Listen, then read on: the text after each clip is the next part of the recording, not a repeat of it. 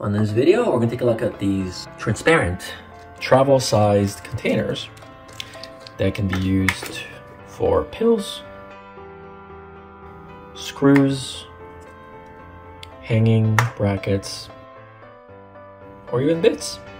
And you get 30 of them. Stay tuned for this whole video. Hey everybody, so if you're like me and you tend to be pretty organized, whether it's with your screws, knickknacks, or bits or even your medicine. Okay, I'm not organized with the medicine because it's just all over the place. So you have like medicine that's like half used, they're all over the place. We've got our cough drops here. So if you want to organize things like that, then I definitely recommend getting these.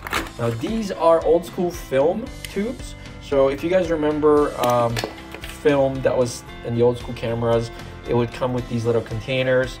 They're see-through and now you can buy them as little storage containers. They're great for travel and they're great for storing little things like medicine, but you will need to, of course, write on these. You can write on these, of course, with anything like a marker, except for a pen. Uh, let's just take these, for example. So how many can you fit? You're not gonna be able to fit too many, right? But if you're traveling, you stick these in and you're good to go for cough drops, for example. I bought these because I will be placing these bits, I will be placing wall anchors so I can keep this for something else. Because these, for example, I don't use quite often, but if I can jam these in here, then I'm gonna have more space for something else. You following me?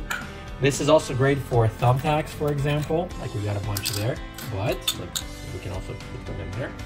So let's go and fill this up. You get one, two, three, four, five, six. One, two, three, four, five. You get 30 of these.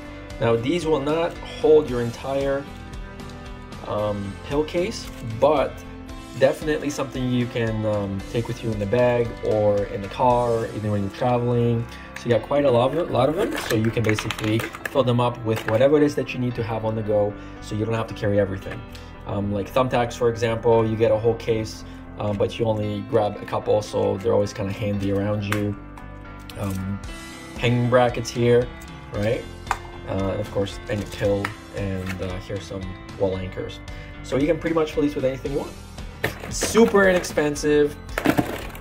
Not much more to say, except if you're an organized guru, this is something you need. Thanks for watching.